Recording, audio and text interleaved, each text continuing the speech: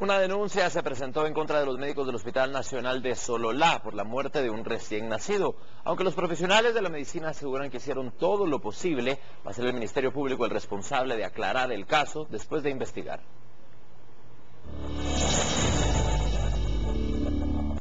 Para los vecinos del lugar es posible por negligencias médicas, pero que al final, según el informe hospitalario, es por una complicación al momento de una cesárea. No tenemos una conclusión eh, eh, patológica de, la causa del deceso, pero simplemente sabemos por el expediente clínico que la paciente cursó con un sufrimiento fetal agudo y eh, de, de tipo bradicárdico que fue resuelta en su momento, dentro de los hallazgos operatorios eh, se encontró que el, neonato venía con dos circulares al cuello y no había presencia de meconio.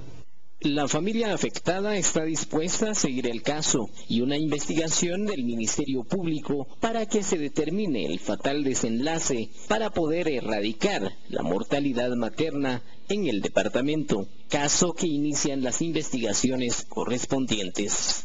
lo que ha sucedido es que en ese hospital no hay no hay doctores en condiciones que sepan atender a sus pacientes. En ningún momento había un ginecólogo en la sala. Lo único que había era un cirujano que él, estaba haciendo el trabajo de ginecólogo y ni siquiera lo llegaba a hacer. Iban a hacer perfectamente, tengo ecografías y pruebas de ello. Por una Guatemala en paz desde el departamento de Sola, Ángel Julajú, Noticiero, Guatevisión.